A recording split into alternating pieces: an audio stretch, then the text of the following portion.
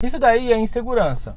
Quando você fica com o pé em cima aqui da embreagem, você está inseguro no que você está fazendo. E para você ser segura no que você está fazendo, você tem que entender para que funciona aquilo ali.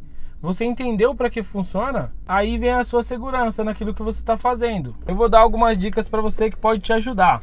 Eu vou sair com o carro, eu sei que para colocar a marcha eu tenho que pisar na embreagem até o final. Então vou pisar na embreagem até o final, colocar a primeira e vou sair aqui, ó. Eu tenho que soltar a embreagem devagar para o carro tremer, para eu sentir a altura da embreagem carro começou a andar aqui, eu já sei que esse ponto aqui eu tenho que manter a embreagem porque eu estou controlando, tá vendo? Por isso que eu estou em cima. Se eu soltar a embreagem mais rápido, o carro vai sair mais rápido ou talvez ele não vai nem sair, ele vai morrer, dependendo da forma que eu soltar a embreagem. Então aqui eu já tenho a segurança de que o carro não vai morrer mais. Então meu pé vai ficar do lado. A outra segurança é no que? Em pisar no freio. Porque eu tenho que saber a quantidade que eu tenho que frear para o carro não morrer, tá vendo? Eu estou freando, a velocidade dele está baixando. Então eu tenho segurança. Eu sei que se eu frear menos assim, dos 5. Eu sei que se eu frear 5 por hora ali, o carro vai morrer. Ou menos que isso, ele vai morrer na hora. Então eu tenho confiança que ele não vai morrer agora, porque eu tenho que. Eu estou usando o freio, eu sei a forma correta para usar o freio. Eu sei que se eu frear aqui, o carro não vai morrer. Então eu estou confiante naquilo que eu estou fazendo. Outra coisa também é você saber que para pisar na embreagem até o final, você vai colocar a marcha, ó. E aí você vai soltar a embreagem, ó. Se você tá inseguro de descer aqui em segunda, vai freando um pouco mais, coloca a primeira e deixa o pé da embreagem do lado, tá vendo, ó? Aqui eu tenho confiança, lembra disso, ó? Velocidade do carro é compatível. A marcha que tá aqui agora. Se eu freio mais que isso, o carro vai morrer. Então, aqui eu sei que o carro não vai morrer, o carro tá tranquilo, que ele não vai de uma vez, porque o freio é responsável por segurar o carro para parar o carro, mas eu não posso frear totalmente, parar totalmente. E isso também é importante você saber qual a velocidade correta para cada marcha que você está usando. Se você sabe que a, que a velocidade tá certa para aquela marcha, você não vai ficar inseguro e deixar o pé em cima da embreagem achando que ele vai morrer. Um exemplo, ó. Se eu tivesse numa quarta marcha aqui, colocasse uma quarta marcha aqui na velocidade que está agora, o carro não ia aguentar, o carro ia morrer. Um outro exemplo, eu quero parar aqui na frente, eu já pisei na embreagem até o final. Eu não vou continuar na embreagem porque na descida eu sei que o carro vai andar já. Sinalizei aqui com a seta para direita, olhei para ver se tá vindo algum carro ali, tá vindo uma moto.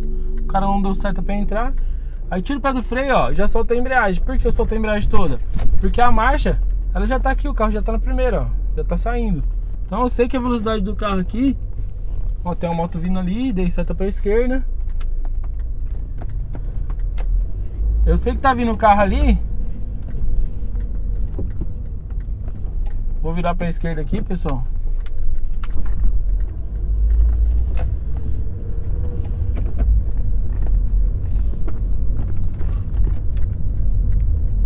Mais um exemplo aqui, eu tô na velocidade boa, eu sei que ali não vai morrer, tá vendo? Ele tá 20 por hora.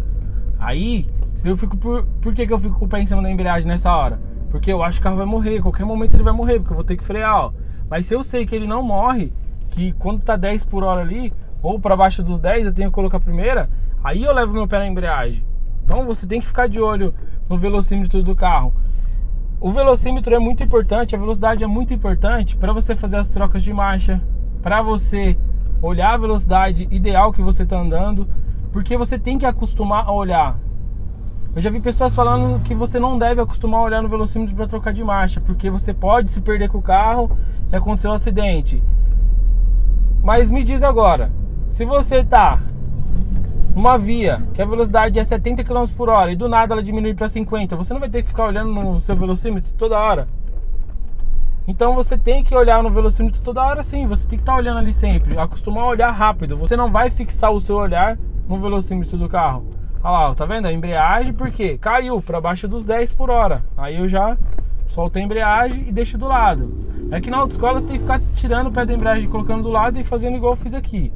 Mas se você estiver no dia a dia com a sua CNH, você pode já pisar na embreagem direto e colocar a segunda. Como assim? Pisar na embreagem direto e colocar a segunda? Igual eu fiz aqui agora, vou fazer agora. Eu tenho primeira, acelero, pego a velocidade e coloco segunda. Só que eu vou frear um pouco aqui, porque na verdade tem uma valeta aqui, então vou passar mais devagar. O ideal, opa, o ideal é você sempre fazer esse controle aí deixar o pé da embreagem do lado, né? Se tá na autoescola, ó, aqui no dia a dia, pisa na embreagem até o final, já coloca a segunda. Se você na autoescola, de uma marcha para outra, você tem que deixar o pé da embreagem do lado. Mais uma vez, ó. Eu tenho segurança, que eu sei que o carro não vai morrer, porque a velocidade dele ali eu sei, velocidade que a marcha pode pegar. Então decora isso. A velocidade que o carro tá tem que ser compatível para a marcha que você tá. Então você tem que entender a velocidade ideal para a marcha que você tá. Tem que saber como funciona. Outra coisa é saber que a embreagem não vai fazer o carro é, parar. O que faz o carro parar é pisar no freio. A embreagem só não vai deixar o carro morrer quando você pisar. Mas o que faz o carro parar é o freio. Então você tá com o controle todo seu aí no acelerador e no freio do seu carro. Se você já deixou o acelerador e o freio no jeito, já conhece, já entende os pedais, vai ficar muito mais fácil para você acostumar a deixar o seu pé da embreagem do lado.